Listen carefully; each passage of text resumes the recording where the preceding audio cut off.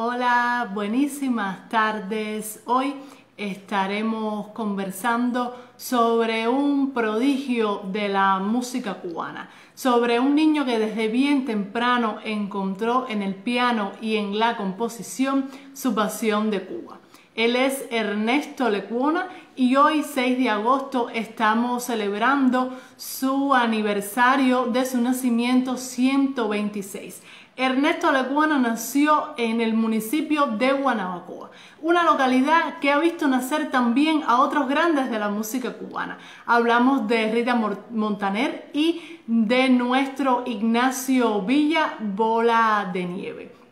Apenas siendo un adolescente, Ernesto Lecuona compone su primera obra musical. Es una obra musical para una banda de concierto. Y desde niño recibió sus primeras clases y acercamientos a la música de la mano de su hermana Ernestina Lecuona. Del maravilloso Lecuona, de quien se graduó con medalla de oro del Conservatorio Nacional de La Habana en la especialidad de interpretación.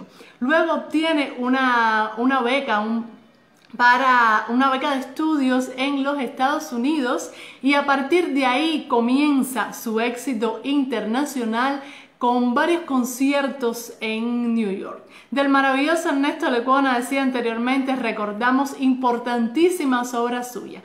Hablamos de La damisela encantadora, hablamos de mm, Siboney, que es su obra más conocida e interpretada. Hablamos de la malagueña, hablamos de la comparsa. Pero Ernesto Lecuona también es autor de relevantes zarzuelas. Decía que del maravilloso Ernesto Lecuona tenemos importantes zarzuelas en Cuba. Hablamos de Rosa la China, hablamos de María Lao y de El Cafetal. Ernesto Lecuona fue muy amigo de Gonzalo Roy y fue fundador, también fue uno de los fundadores de agrupaciones como Havana Symphony y Ernesto Lecuona Cuban Boys. También estuvo involucrado con otras agrupaciones importantes en La Habana del, siglo, del siglo XX. Y entonces también de, de Ernesto Lecuona es muy curioso saber también que compuso obras para el cine, para producciones de Hollywood, para producciones de España y para producciones también de Latinoamérica. Incluso una pieza suya estuvo nominada a un premio de la Academia, una obra que compuso para la película Always in My Heart de la Warner Bros., de la compañía Warner Bros. Y otra prueba del gran talento de, Ernesto Lecuona es que fue autor de cientos de obras musicales. Estamos hablando de más de 600 obras musicales en los diferentes eh, géneros.